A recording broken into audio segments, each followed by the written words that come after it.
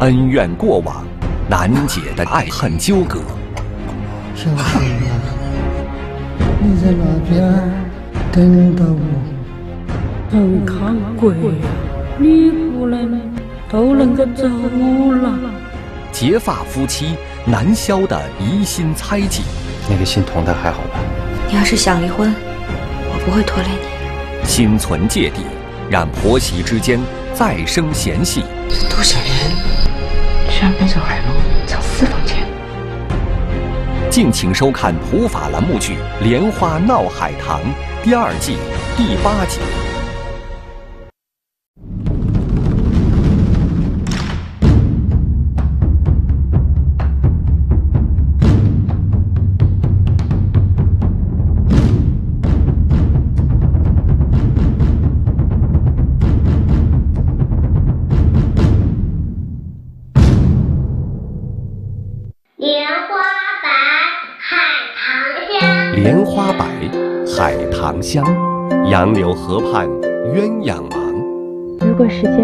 在这一刻，该多好啊！连理结，愁难断，两家争闹儿女伤。爸，我该怎么办啊？情难了，事业伤，壮志难酬，独彷徨。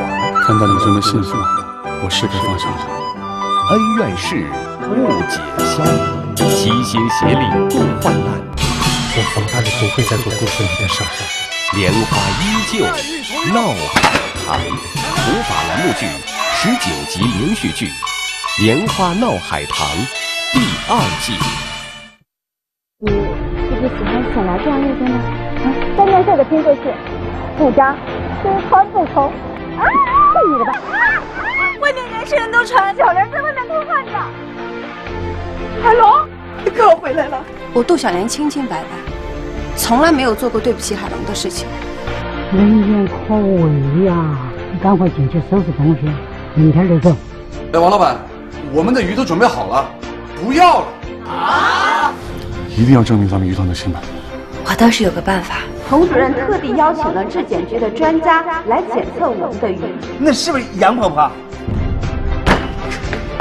病人突发脑溢血，我们已经尽力了。大活人白天死在家里，村主任他不知道。下台！下台！下台！上梁不正，下梁歪。小爷子，小爷子，看普法故事，品百味人生。这里是普法栏目剧，我是主持人王小磊。欢迎各位继续收看《莲花闹海棠》第二部的故事。在上一集里边啊，我们说到啊，这个杜燕再次出谋划策，帮助童兴明顺利的解决了鱼塘的难题。但是杨婆婆的死却让童兴明背上了莫须有的罪名。哎。这李世军夫妇唯恐天下不乱啊，抓住这个机会是煽风点火啊，啊，要求童兴明必须得辞职，村主任你不能再干了。李家跟熊婆婆的参与让翠花感觉到好像，哎呦，你看，不是我一个人闹，有靠山啊，这一下子事情就被激化了。童爷爷备受刺激，当场昏过去了。熊婆婆她为什么总是针对童爷爷？熊婆婆、李婆婆跟童爷爷三个人之间。那也是有着一段恩怨过往。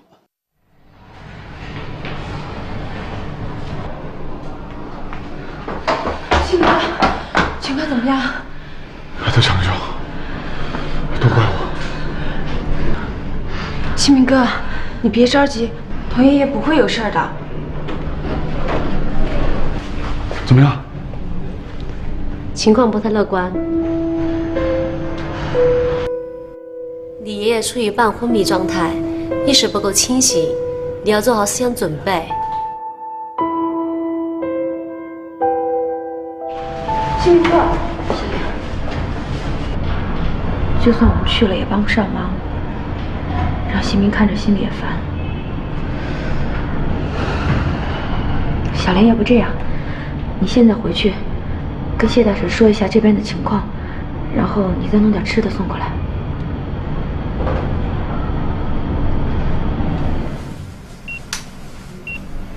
爷爷，那个千万不能有事儿。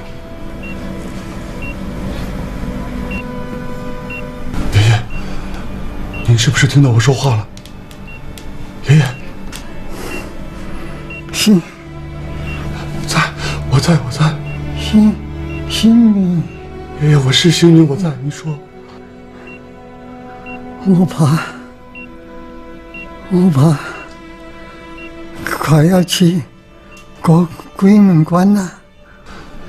不会的，爷爷，不会的，你一定会好起来的。好娃儿，爷爷活到这把岁数。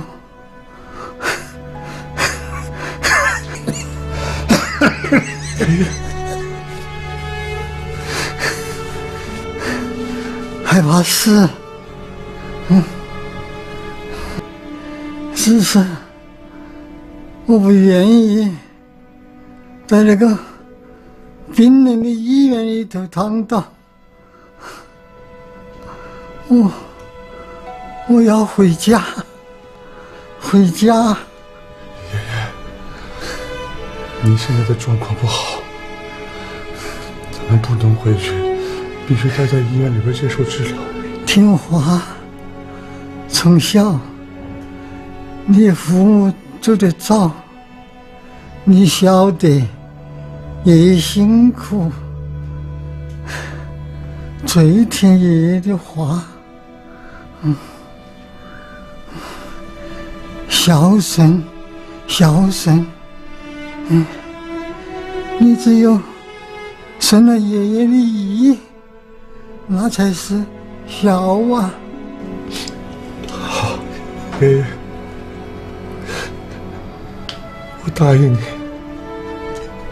行明带你回家，带你回家。爷爷，你一定会好起来的，你一定会没事的。嗯等着啊！行明带您回家。嗯嗯。哎，姐夫。小莲。啊。你这么着急干嘛去啊？童爷爷突然病倒了，在医院呢。我去谢大婶家，让她做点吃的送过去。我先走了啊。小莲。啊。你姐呢？啊，她。啊，那什么，姐夫，我这着急呢，我先走了啊。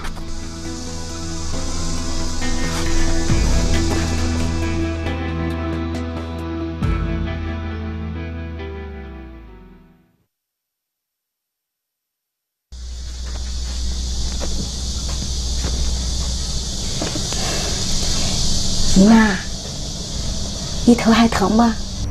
您看，您姥家的燕窝我都给您炖好了。吃着喝了吧，我不吃。哎呀，待会儿凉了，你老人家听话啊，喝了它。我说不吃都不吃，我在这儿闹，滚出去。哦。啥事？你发现没有，这姨妈怎么那么针对童新伟呢？嗨。他们是针对童老头你看把那老头气的啊！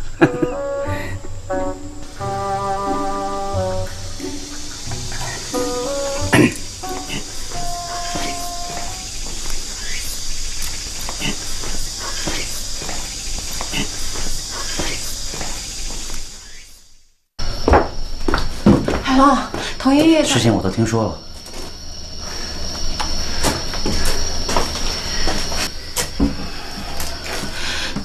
说这个事情怎么莫名其妙就变成现在这个样子了呢？这姨婆她，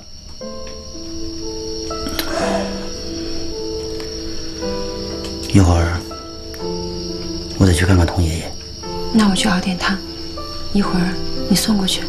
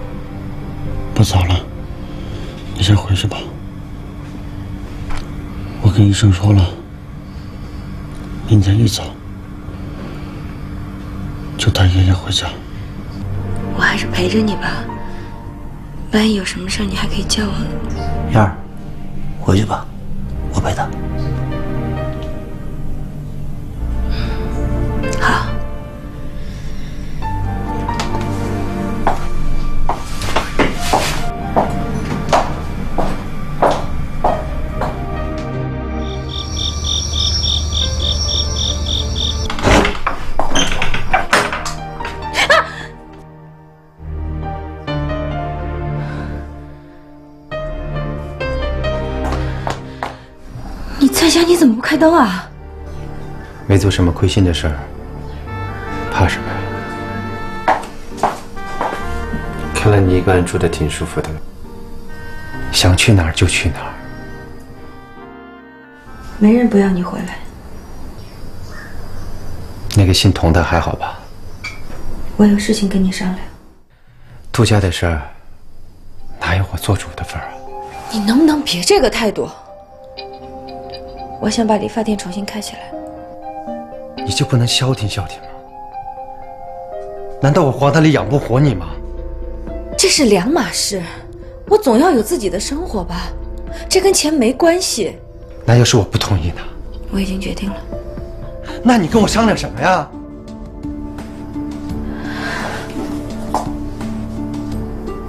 咱们能不能好好过日子？你能不能别折腾了？要是想离婚，我不会拖累你，后果我一个人承担。反正我不会在家了，我宁愿一个人孤独到老。你还年轻，你可以重新找个女人，结婚，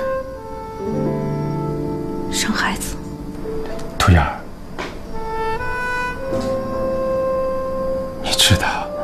我要的不是你这些话。那我还能说什么？你知道我要什么？我就想你跟我好好的过日子，我只要这个。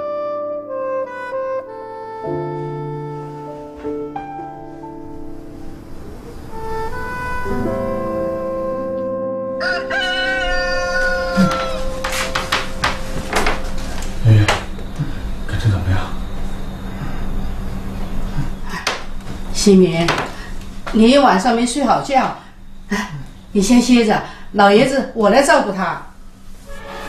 谢谢婶儿了，我办公室还有点事，得去一趟。哦，你有事儿去吧，去吧啊。爷爷，你好好休息，有事给我打电话。去吧，孩子。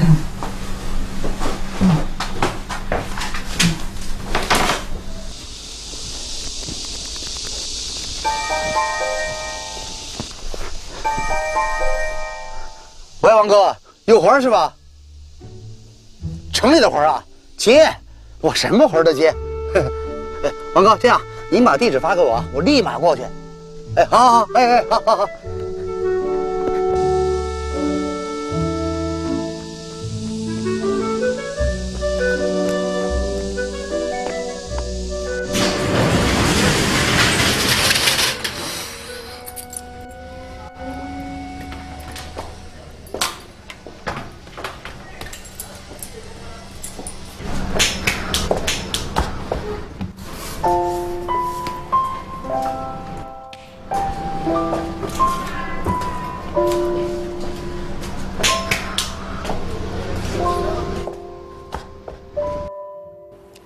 谁都没想到童爷爷的病如此严重。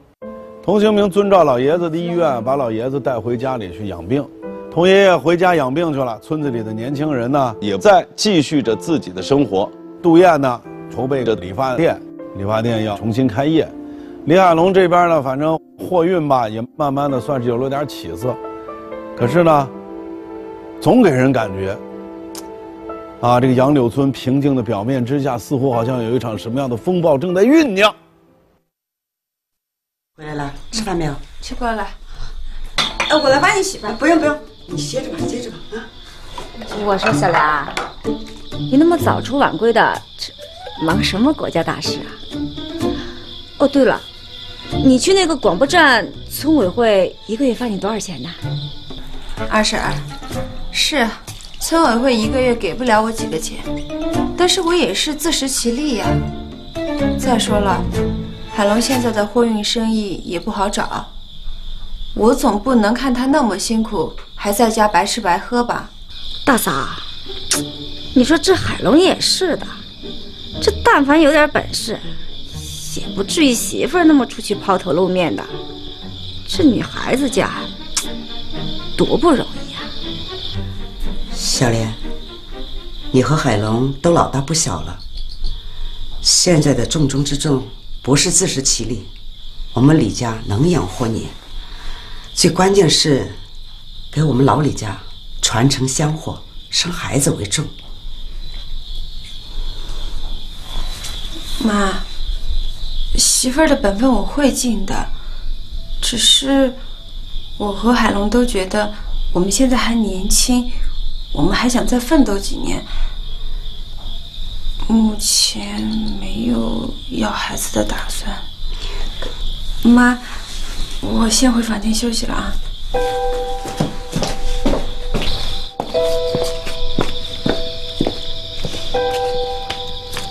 哎呀，大嫂，你看看这，这这都叫媳妇儿啊？这你还没老呢，等你老了，有你骨头。我早说什么来着？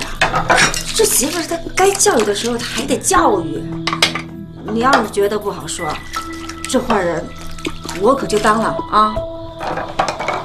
哎我我不是那个嚼舌根儿，我只不过看不惯你受委屈。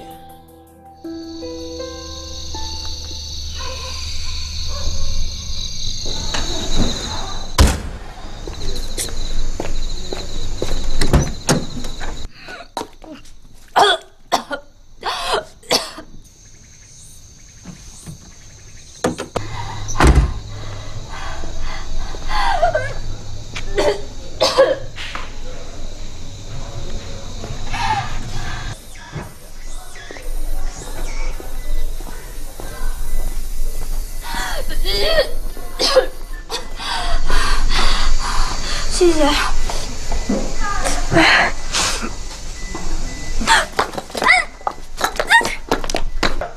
干嘛呀？放开我！你看看你穿的什么啊？你这裙子要再短点，屁股都能看见了。你在这儿干嘛呀？啊？田小妮，你干点嘛不行啊？啊？你非干这个？你以前不是说我就是个寄生虫，什么都不会做，成天只知道吃喝玩乐吗？怎么了？我现在自食其力，我招你惹你了？自食其力是吧？啊，那不有很多种方法吗？啊，为什么干这个呀？你把衣服赶紧给我脱了，跟我走。你以为我还是以前那个穿得起名牌的田小妮儿啊？我不是了，我爸的厂子倒闭了，他被抓起来了，我们家房子、车子，所有全部都被拿去拍卖了。我爸还有一大屁股债等着我去还呢。我穿这衣服怎么了？你嫌丢人？你嫌丢人可以当不认识我呀？我穿这衣服可以多挣点钱，我有错吗？咱们还算朋友对吧？啊，是朋友，我就不希望看到你现在这个样子。还有，我很感谢你替我出庭作证，这个人情是我欠你的，我欠你的，我欠你的我就得还。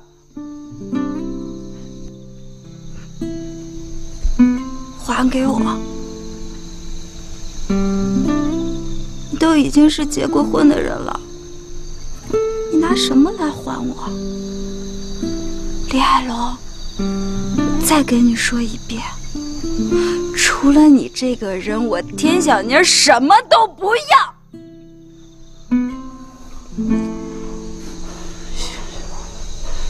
你以前不是特别喜欢花吗？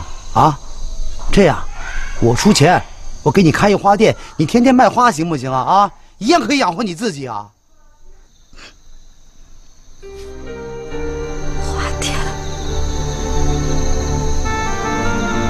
花店里面又没有你。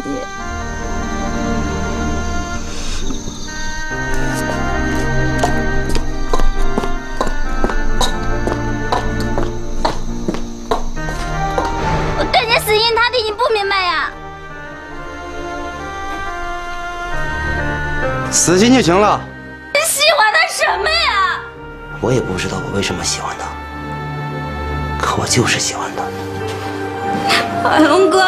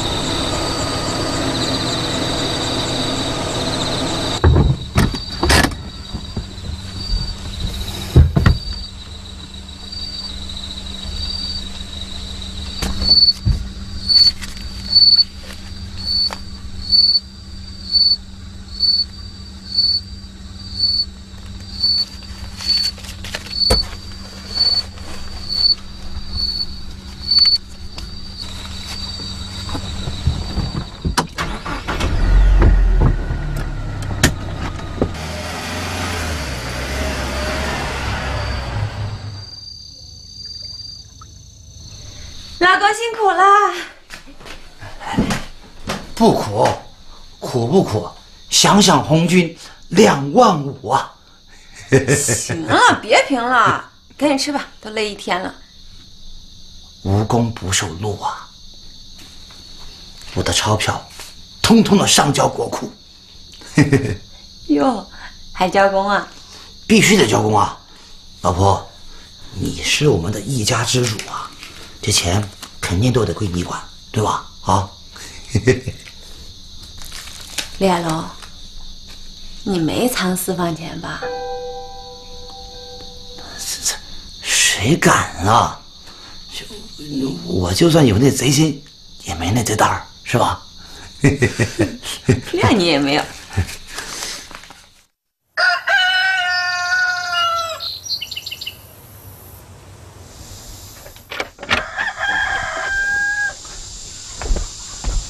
海龙，啊，姨婆，那个张走哪去？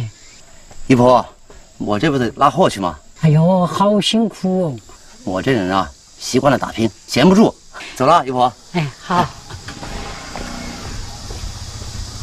哎，早点回来吃饭哈。哦，知道了。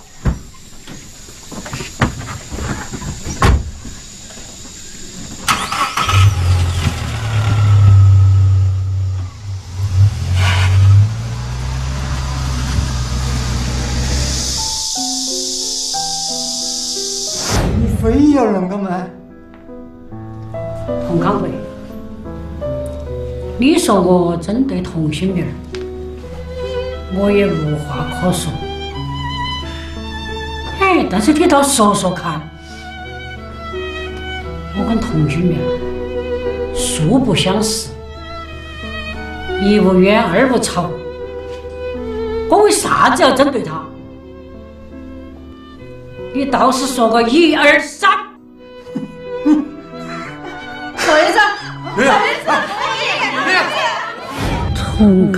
鬼呀，你不能都能够走了，我跟你的账还要慢慢算喽。奶奶，嘿，洋洋，我回来了。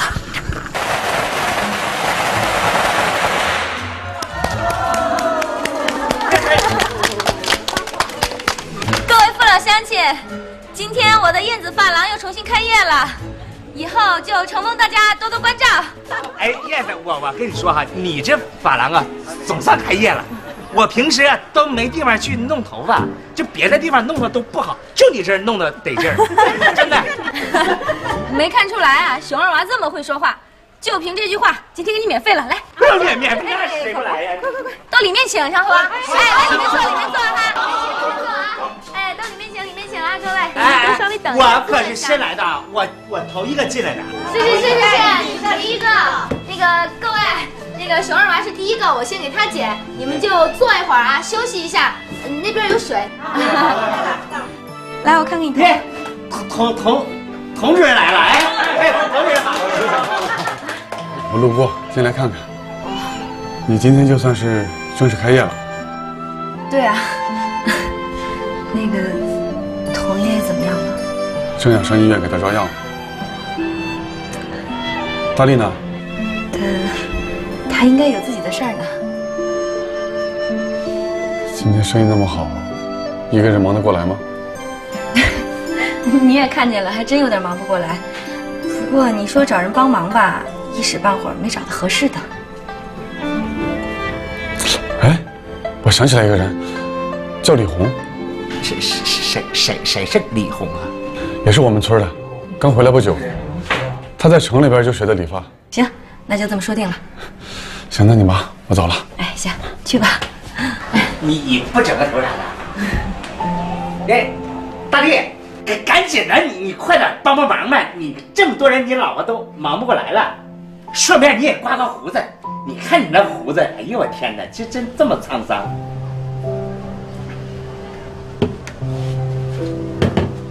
哎，大力，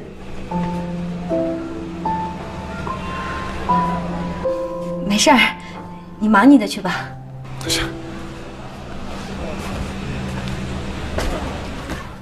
奶奶，我觉得吧，这个事儿啊，就是你做的不对，要不你还是给童爷爷去道个歉吧。休想！那你这老太太，你真是的，你本来就做错了事儿。那这样，你不去啊，我替你去。我不是给你买燕窝吗？你做错了事儿，你就别想吃了。我送人童爷爷去。哎，快回来！不准去哈！要道歉也是他跟我道歉，是他请我的。哎，姨妈，你是不是和那个童老爷子他有什么过节呀？认不到，不说。哎呀，哎，姨妈，我跟你说啊。那个童老爷子啊和我那个过世的婆婆，那关系可不一般了。他们年轻的时候，你婆婆都是过世了的人，你还在乱七八糟的糟蹋她，积点口德嘛。你你老人家，你不信你自己去问去呀。出去，给我出去。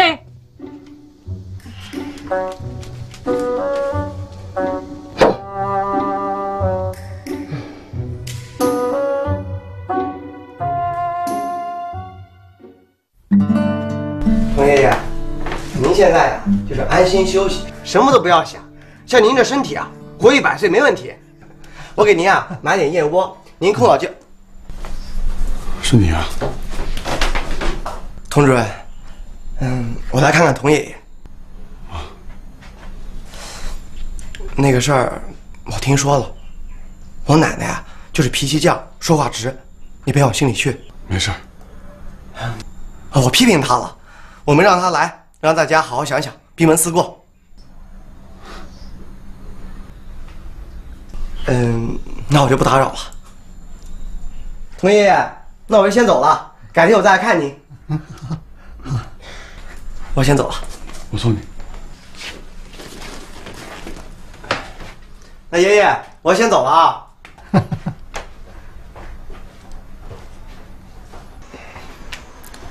童主任。你真的别给我奶奶置气，我知道她，她没有恶意的，也不能全怪熊婆婆。我爷爷身体本来就不好，他一直不肯上医院。其实我奶奶啊，一直想在农村建个养老院。修建养老院呢，当然是一件大好事。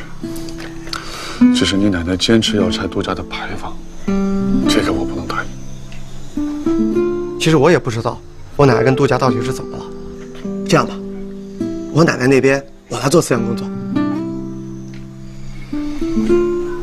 那我就先谢谢你了。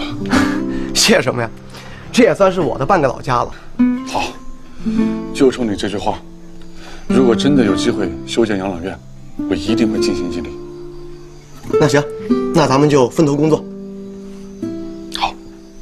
嗯，那你赶紧回去吧，去陪童爷爷。我先走了。不走。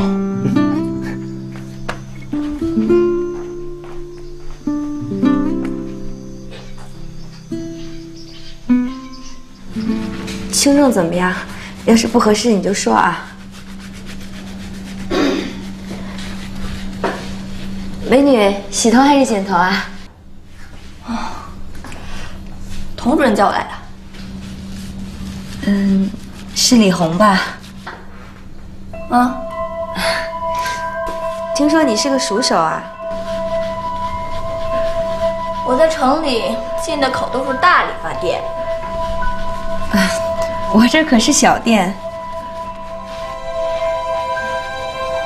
童主任介绍的，给个面子。你一个月开多少钱给我？嗯，那这样吧，试用期就八百，等过了试用期呢，就计件八百加提成，怎么样？才八百块钱一个月，太少了。你也看到我店就这么大，要是工资开高了，我可请不起。行吧，行吧，反正闲着也是闲。不过我得说好了，你一个星期得放我一天假。行，这没问题。那咱要是说好了，今天就开始上班吧。行，嗯，那你先坐会儿啊。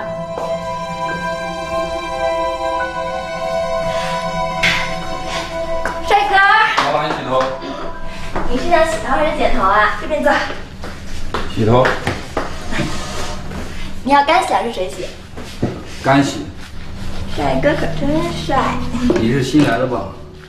帅哥，我叫李红，你可以叫我小红，以后常来找我呀。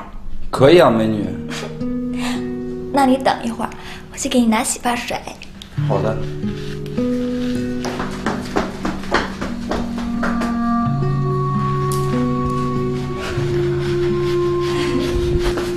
帅哥，你看你要用哪一种？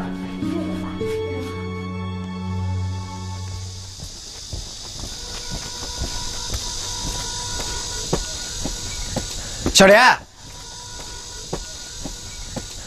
你回来啦？嗯，我回来了。哦，对了，我在城里还给你带些礼物呢。你干嘛那么客气啊？你表哥回来了。今天怎么这么早呀？想你了呗，所以就早点收工呗。累不累？还行吧。哎，别动。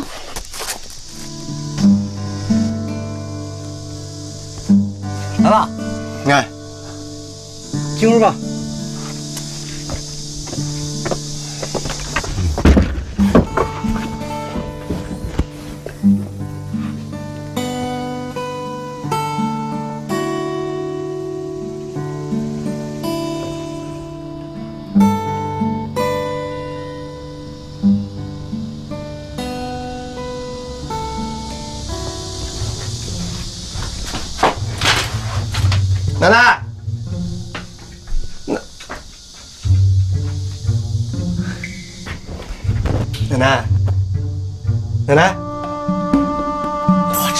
睡着，你就别装了，哪有睡觉戴眼镜的呀？嗯。哎，奶奶，你难道就不想问问我？问啥子？问童爷爷啊。死了没得？奶奶，你怎么能这样说呢？我跟你说，童爷爷现在身体状况特别不好。再说了，这个事儿本来就是你做的不对。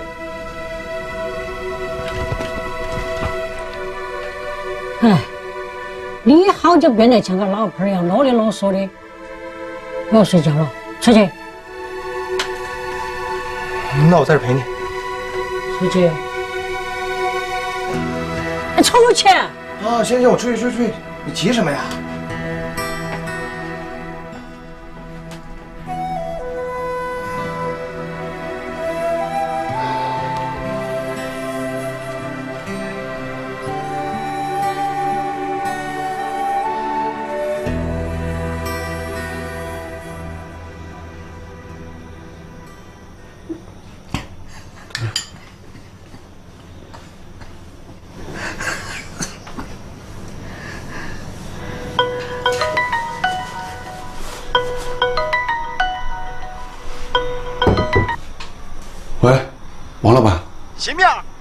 我都在村口了，啊，那鱼还卖给我吧？要当然要卖啊，我现在就带着司机过来了，我再多订两千斤。真的。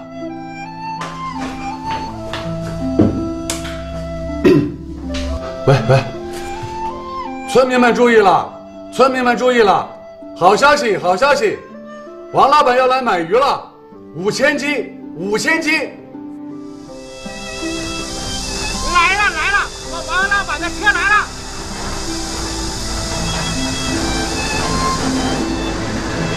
来了来了来了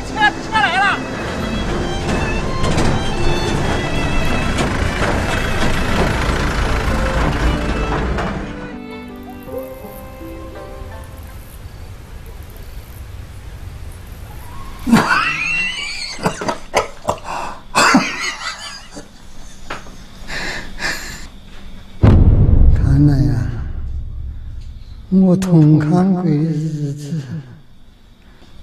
也走到头了。小熊啊，你在那边等到我。啊，那些事是时候该告诉他了。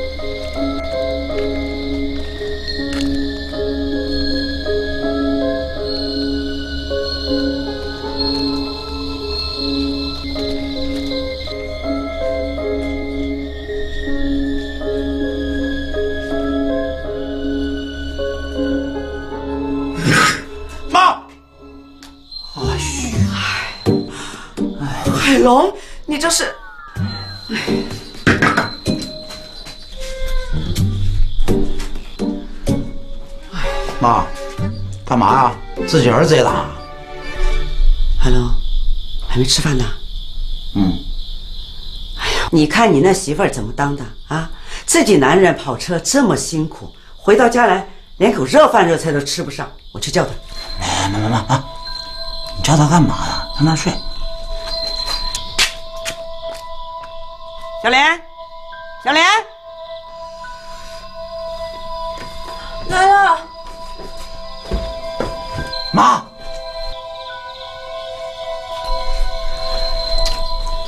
我说你叫他干嘛？我这吃饭可就睡了。海龙，你不能这么宠着他。妈也就是想让他知道，应该怎样做个好媳妇儿。这小莲不错，挺好的，挺好。妈，海龙，妈，什么事儿啊？什么事儿？什么事儿？你说你这媳妇儿怎么当的啊？自己男人跑车这么辛苦，大半夜的回来，连饭还没吃呢，你倒睡得踏实。我是在等海龙，我等着等着，不知道什么时候就睡着了。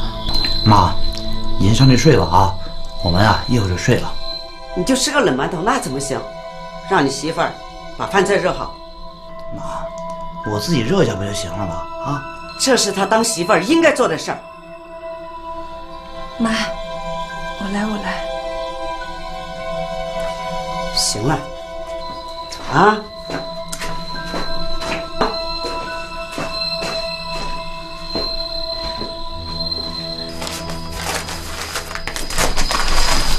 开灯。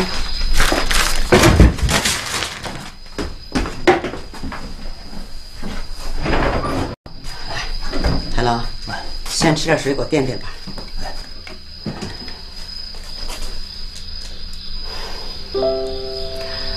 儿子。你看你那媳妇儿，我要不叫她呀，还在忙周公呢。妈，你儿媳妇呀也特别辛苦，你呀多体谅体谅啊。我还不希望她当什么广播员呢。这结了婚的女人呐，就应该以家庭为重。再说了，妈还等着给你们带孩子呢。我跟小莲这不还年轻嘛，暂时啊还不考虑这事儿啊。过几年，你想要多少肯定是多少，足球队都行。当你媳妇儿下猪崽呢？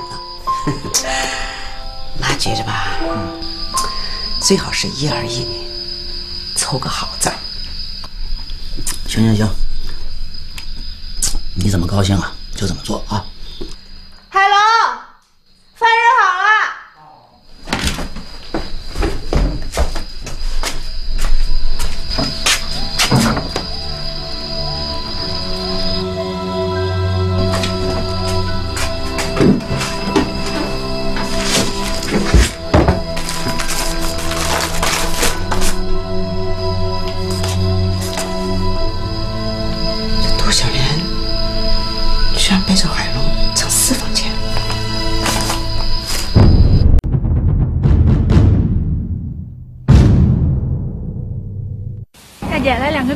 饼。加蛋加肠上啊！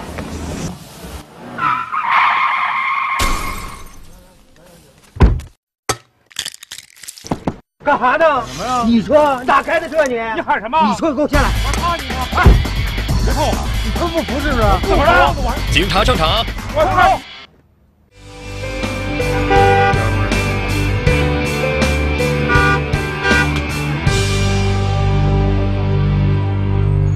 李海龙对工作的努力上进，最终人家这个货运的生意有了起色。满心欢喜的李海龙怎么也没想到，会遇到田小妮儿。